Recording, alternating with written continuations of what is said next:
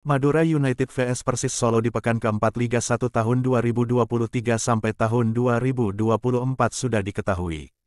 Laskar Sapekerap julukan Madura United sukses meraih kemenangan dengan skor tipis 4-3.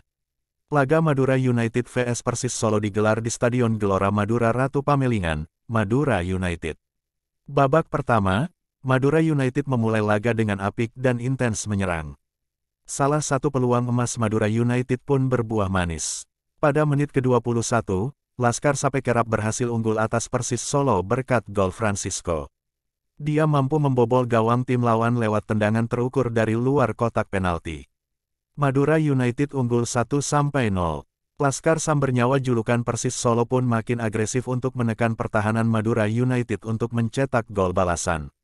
Namun, pertahanan tim tuan rumah masih cukup solid. Pada menit ke-32, Madura United malah berhasil mencetak gol kembali ke gawang Persis Solo. Gol Jacob William membuat skor untuk timnya menjadi 2-0 atas Persis. Skor ini terjaga hingga akhir babak pertama.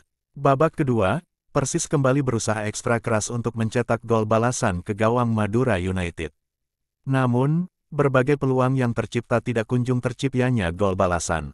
Pada menit ke-69, Madura United malah memperlebar jarak atas Persis Solo. Kepastian itu usai Jose Brandao mencetak gol ke gawang tim asuhan Leonardo Medina. Madura United makin di atas angin dalam laga melawan Persis. Oleh dikarenakan, tim itu kembali mencetak pada menit ke-78 lewat Jose Brandao usai memanfaatkan kesalahan kiper tim lawan. Persis akhirnya berhasil memperkecil ketertinggalan dari Madura United itu usai David Gonzalez mencetak gol pada menit ke-90. Persis pun berhasil mencetak gol lewat Rodriguez pada menit ke-90 plus 1 dan 90 plus 3. Sampai akhir babak kedua tidak ada tambahan gol lagi dalam laga itu.